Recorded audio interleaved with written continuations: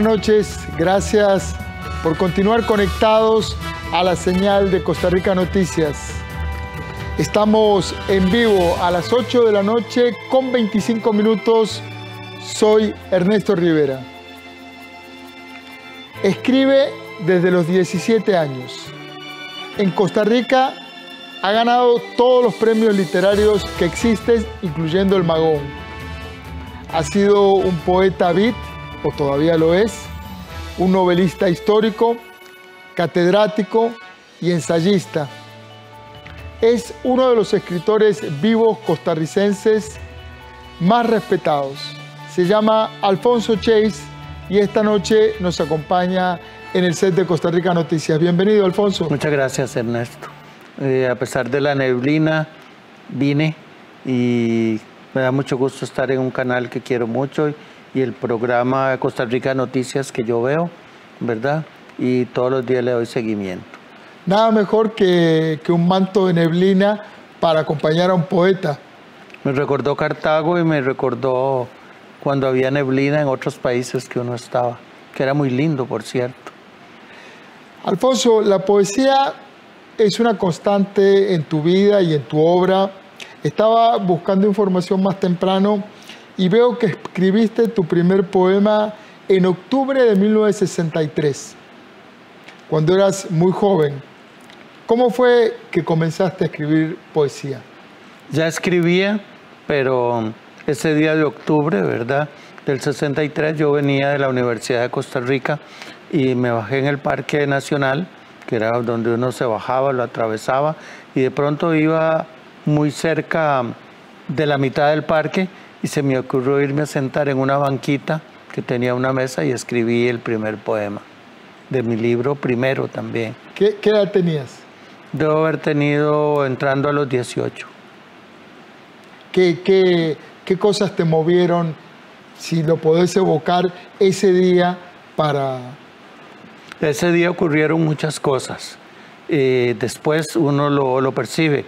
Por ejemplo, se murió Edith Piaf y Jean Cocteau. Entonces eso me quedó, pues eran personas que yo respetaba y quería mucho, ¿verdad? Y me cayó en la memoria cosas que yo tenía, ¿verdad? Una, una noche de estrellas, que no vi otra cosa que las estrellas del cielo, cuando el cielo era no estaba encapotado de nada y uno podía pues inspirarse. Yo sabía que las estrellas que uno lleva en la mente están a toda la hora del día. Si uno ve como poeta un paisaje, una persona, una cosa, uno lo interioriza y luego escribe.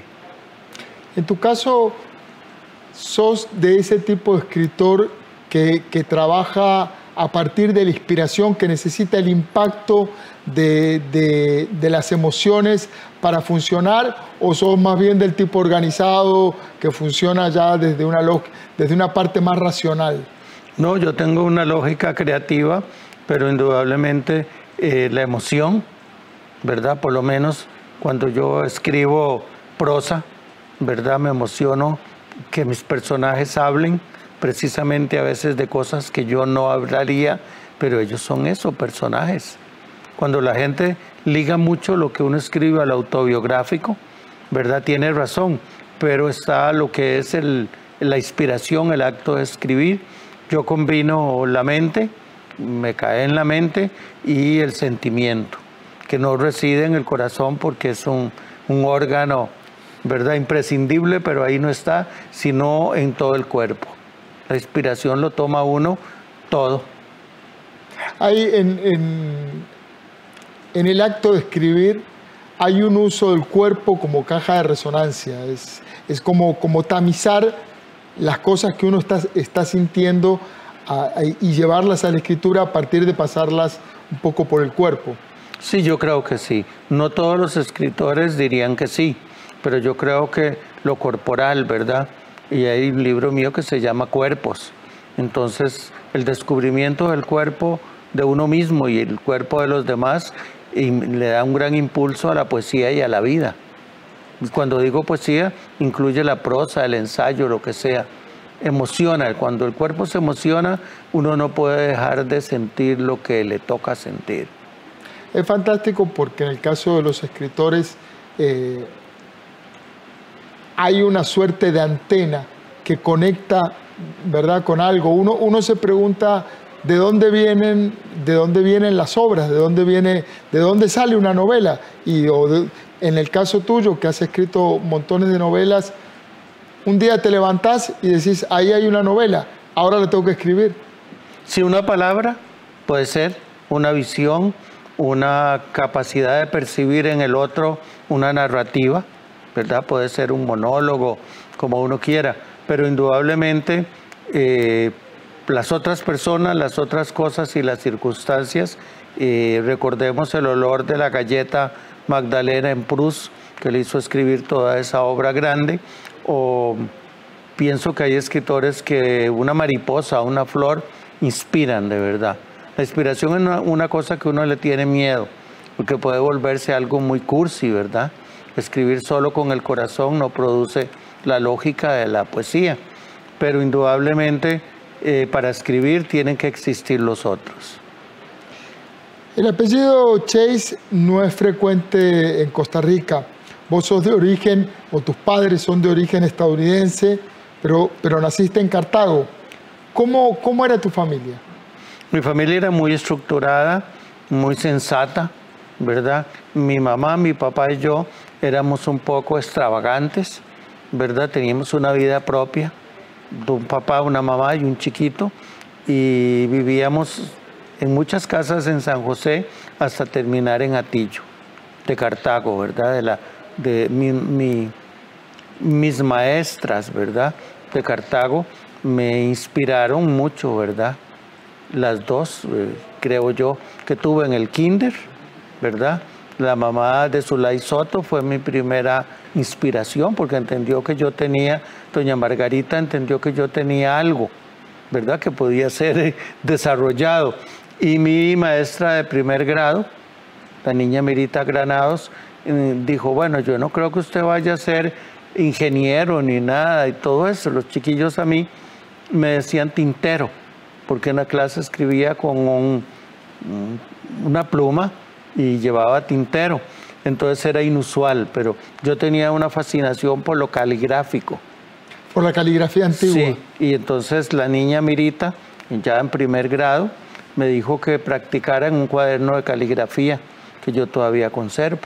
Entonces yo siempre creí que la letra impresa era caligráfica, pero era una mera ilusión cuando empecé a leer bien un montón de cosas que, no estaban en caligrafía y se empezó a desaparecer la caligrafía del currículum para los niños de escribir de primaria.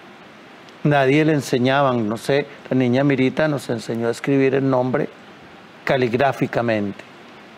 Y la letra entonces a mí me fascinó, hay múltiples caligrafías, un sistema caligráfico, ¿verdad? Los libros de uno están escritos o para ser caligráficos, pero ya uno sabe, el, en el caso mío, el 12 Press Roman, que era la manera de, que quedara lindo un libro. Y el maestro caligráfico que yo conocía. De, ¿Escribís a mano? A mano. ¿Tus textos tenés cuadernos y escribís a mano? Sí, precisamente ahora con la pandemia se me, se me ocurrió escribir una novela polifónica. Yo creo que si fuera corta, si fuera un músico habría hecho una sinfonía o una, una cuestión que tuviera una índole musical, pero a raíz de una escena y una, unas palabras que se dijeron, se empezó a desarrollar una novela polifónica. Polifónica quiero decir que tiene muchos sonidos, muchas voces en el San José actual. En el silencio y en también, yo vivo en un lugar donde paso oyendo, digamos, personas que van por la calle ellos no saben que lo están ahí siguiendo, pero entonces también las personas se incorporan su vida, sobre todo los indigentes, la gente más pobre que está confinada, pero no está tan confinada. Sale a la calle, la calle es la vida. La calle es la vida.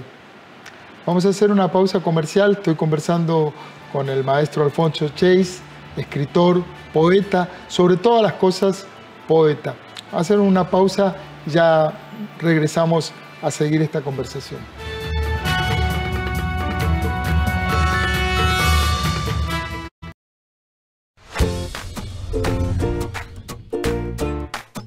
El Instituto Nacional de Vivienda y Urbanismo busca mejorar la calidad de vida de todos los costarricenses y crear soluciones en tres grandes áreas.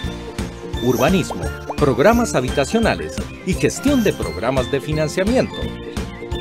Renovemos Costa Rica con desarrollo urbano, vivienda y financiamiento al alcance, en armonía con la naturaleza.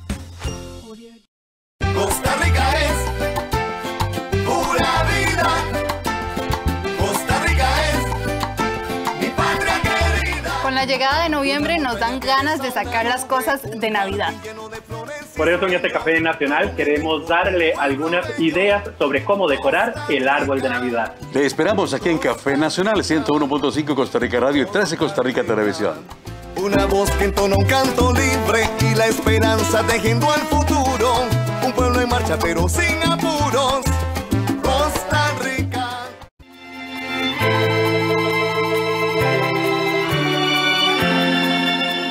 Estamos de regreso en esta entrevista con el maestro Alfonso Chase, hablando de su trabajo en la escritura. En Costa Rica, Alfonso, hay muy pocos trabajos de novela histórica. Se, ha trabajado poco la novela histórica. En tu caso, vos la abordaste en El Pavo Real y la Mariposa. Y, y trabajás la época de don Ricardo Jiménez a finales del, del siglo XIX. ¿Cómo, ¿Cómo recreaste aquella Costa Rica? ¿Cuál fue, ¿Cómo fue ese trabajo? Ese trabajo empezó, habiéndolo leído muy joven, a don Manuel de Jesús Jiménez con sus crónicas, ¿verdad? Y un señor muy querido que se firmaba Simplicio Cucufati, que es el papá, de alguna manera, de la novela histórica, ¿verdad? La novela histórica en Costa Rica yo pienso que tiene un sentido cuando él escribe la historia en su momento, ¿verdad? A veces piensa que es una historia parcial porque él era sobrino de Juan Rafael Mora, ¿verdad? Pero no tiene que ver eso, sino con la necesidad de escribir parte de lo que, lo que se hacía. E inclusive una novela o una novelita corta que transcurre en Londres. la novela histórica nace con ellos, se da un brinquito y pienso yo que algunos de los trabajos de Carmen Lira tienen que ver no solo con la historia contemporánea de ella, sino con la novela histórica. Pero ya la novela histórica, ya a, raíz de los 40, se, eh, como queda ya bien hecha que es posible en Costa Rica escribir novela histórica. La antigua polémica que si uno escribe sobre una india de Pacaca, no es lo mismo que escribir sobre una señorita de París. Las dos cosas son, son viables y la famosa novela en, el uso del lenguaje queda claro que el lenguaje evoluciona. Mis personajes del Pavo Real y la Mariposa escriben siguiendo las normas, digamos, digámoslo así, de don Carlos Gallini en el diccionario de costarriqueñismos. ¿Verdad? el habla popular y el habla culta de finales del siglo XIX y principios de, del XX produce obras realmente extraordinarias, como en una suya de ruedas de Carmen Lira, con los primeros cuentos que se escribieron bien sobre San José. San José siempre ha sido un protagonista y los sucesos históricos que ocurren en San José son más trascendentes de lo que creemos. Esa, esa época es muy particular, finales del siglo XIX, principios del XX, en Costa Rica, porque pasan muchas cosas extraordinarias en, en esa época. Había como un aliento de ser una nación gigantesca. Y una eh, nación, no podemos decir que cosmopolita, sino universal. Universal. ¿Verdad? Rogelio Fernández Güell lo entendió muy bien con los libros que escribió sobre las ciencias ocultas, podríamos decir, pero era una obra que tenía que ver con toda la herencia hispánica. Ellos estaban muy emocionados con, con que en España hubiera grandes transformaciones que también se, veían en Costa Rica. ¿verdad? Costa Rica no era solo Aquileo y Magón, sino que había otro tipo de lectura de la coyuntura histórica, social, eh, sobre todo en el caso, voy a ser breve, lingüístico. ¿verdad? El lenguaje costarricense se, se centró y dio forma, digamos, en García Monge, Las hijas del campo y el moto, y también Carmen Lira, ¿verdad? Con sus personajes, Juan Silvestre. Es, es muy rica esa época. Es, una decir, época intensa. Hay que estudiarla, Sí. hay que estudiarla. Decía al inicio que, que la poesía ha sido una gran constante en tu vida y en tu obra. Tuviste una época beat, eh, con la influencia de aquella generación tan rebelde y tan maravillosa de Allen Ginsberg, de Corso, de Ferlinghetti. Eh, ¿Cómo recordás esa época en Costa Rica y en tu literatura? Porque era una Costa Rica muy, muy diferente. Muy, muy diferente. Estaban haciendo lo que podíamos decir el rock criollo, ¿verdad? Teníamos antes de, de eso se puede poner antes y, y después, dijéramos, del rock and roll, rock. Las orquestas de rock de la época son muy importantes. También los intentos de todos nosotros de escribir sobre eso. Era una vida muy intensa en una Costa Rica que casi nadie conoce, ¿verdad? Ya existía la marihuana, ya existía el LSD, todo tomado desde un punto de vista mm, muy diferente a como también se ha visto, La experimentación. Sí, eso cuajó también en mi novela Los Juegos Furtivos. Pero en el caso mío tenía la gran influencia norteamericana, ¿verdad? De City Light Bookstore y haber sabido o haber visto en la calle en San Francisco y también en Nueva York algunos de los protagonistas. Los viste en vivo. Sí, lo vi en vivo porque era eh, una época en que se podía acceder a ese tipo de personas. Eh, es decir, suena raro, pero digamos, Anaís Nin no era una figura confinada ni cerrada, sino que... Qué ella- maravilla, Anaís sí, Nin. Era una amiga de todo el mundo al que uno podía ir a saludar y ver lo que hablaba ella. Hablaba belleza, era como una efusión de un sentido común centrado en las relaciones humanas. Porque todas esas figuras eh, centraron su vida muchas veces en la persona que tenían, como Anaís Nin, si uno lo analiza más, también Ferlinghetti, y qué no decir eh, Allen Ginsberg, que tenía sus propias parejas, ¿verdad? Hombres, y él escribía a ellos muchos de los... Ellos eran los primeros que oían. Eran beatíficos, eso es lo que significa beatnik, ¿verdad? Son gentes inspiradas. A veces por uno o dos toques de marihuana, otras veces por nada. Sí, era, era todo un ambiente de Sí, época. yo siempre he dicho que es la época más linda que yo viví. Eso que viví en los 60, no en los 50, en que estaba ya Kerouac. Kerouac. Yo lo viví de, él, de, de, como de segunda mano, porque siempre había gente que lo había visto o lo había conocido, pero evidentemente nunca lo conocí ni lo Es vi. que él andaba en el camino. Sí, andaba en el camino y además era poco fiable para estar en un solo lugar. In the road se llamaba vivir así. Y por dicha que yo tuve la oportunidad de conocerlos a ellos y sobre todo de leer su poesía, Sí. ¿verdad? Su poesía, la poesía norteamericana, en el caso mío, influyó de una manera tremenda, ¿verdad? Tenés una, tenés una silla que te heredó Chabela Vargas. ¿Cómo, ¿Cómo fue tu relación con ella y, y cómo fue lo de la silla? ¿Cómo fue que No, te la silla todo el mundo se la quiere robar porque ellos seguro tienen claro que ahí se sentó Chabela Vargas. En mi casa tiene un gran lugar, ¿verdad? Me la mandó María Cortina porque eh, ella pensaba, ¿verdad? Que Chabela siempre decía, uy, yo esa silla se la tengo para Chase. Entonces me salió más cara sacarla de la aduana que comprar una silla, pero Chabela Vargas está por escribirse, ¿verdad? Yo he recuperado una cosa de ella que posiblemente se llame Yo, la peor de todas, porque ella tenía también, era en misericordia con ella misma, pero era muy misericordiosa con los demás, además de una gran artista. Impresionante, la figura de Chabela, Sí. el relanzamiento, la, el Yo reposicionamiento. tengo unos discos que ella le regaló a mi mamá firmados por ella, de los discos grandotes, ¿verdad? Y ahí oíamos nosotros en Atillo, imagínense, Brahms, Mozart, Chabela Vargas, todo eh, lo que es también eh, la música norteamericana, el jazz sobre todo. En, En- un pequeño gramófono, se dice, ¿verdad?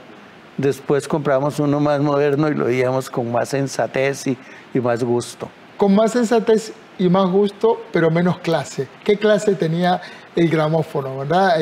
El, el- el acto de oír música ha cambiado tanto. Hoy escuchamos en los teléfonos, en, en aparatos, la música está en todos lados. Uno prácticamente que puede acceder a lo que quiera, pone grabaciones ocultas de, y ahí, y ahí sale. No, en mi época o en nuestra época o en esa época no ocurría eso. Lo que teníamos era discos que vendían en la, un almacén que tenía Perry Girton en Costa Rica. Era un piloto que papá conocía porque lo llevaba a Tillo caminando y también porque cuando había que ir a Golfito iban en, en- íbamos en avioneta de Perry Girton. Entonces Perry Girton sabía cuáles eran los gustos de la época y papá también se había quedado un poquillo atrasado, pero mm, los discos más importantes del jazz, ¿verdad? Eh, yo los conservo todavía que se le compraron a, a Perry Girton. Es, es impresionante porque toda esa época eh, previa a la cosa digital, eh, había, la cultura había que perseguirla. Vos nos trajiste ahora, me trajiste ahora un montón de, libros, de tus libros, no sé a qué cámara, ahí, ahí, estamos. Este, y y me, me- me recordé esa, esa persecución de, de los libros. Ahí está, ahí, ahí estamos. Es- Tengo el libro de los esplendores y música solar de Alfonso Chase. Y, y pensaba que en esa época en que había que perseguir la cultura, ¿verdad? No era que le llegaba, había que ir a buscar a Ferlinghetti, había que ir a buscar a Coltrane, había que ir a buscar a Mal Davis, eh, había que ver los discos de Chuck Berry, cómo eran. Bueno, Chuck Berry marcó mi primera eh, relación con el rock. ¿Se acuerda? Y Chuck Berry es, bueno, ya que lo mencionas, es parte. En mi, en mi primera novela, que es Los Juegos Furtivos, aparece Chuck Berry, la música de Chuck Berry, la música que se hacía en eh, New Orleans y luego la música más refinada que se tocaba y se vivía en Nueva York. Sobre todo en los gramófonos que uno tocaba las rocolas, en algunos cafés echaba una monedita y oía la música. Desde los rockeros de la anteépoca hasta Barbra Streisand.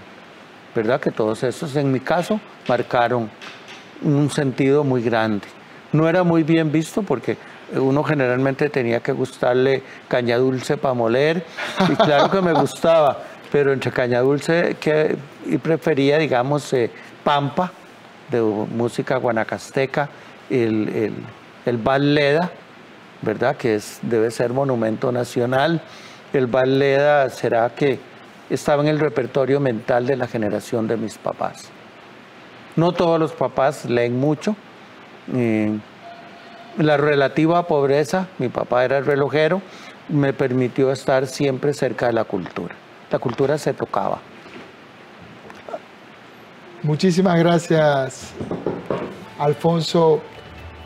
Me encantó que habláramos con esta naturalidad, que habláramos sin un propósito específico. No venís a presentar un libro, No, no hay propósito específico. Vengo a conversar con vos. eso. Es decir, cumplo la cita que me programaste. Lo que, lo que uno dice, lo dice. Se agradece la, No, la no, no. presencia, el esfuerzo de haber venido hasta aquí. Queda ahí documentada. Muchas Alfonso gracias. Chase. Muchas gracias.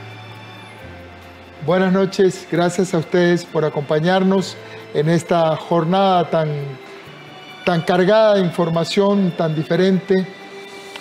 Recuerden, trabajamos para usted. Somos la televisión pública de Costa Rica.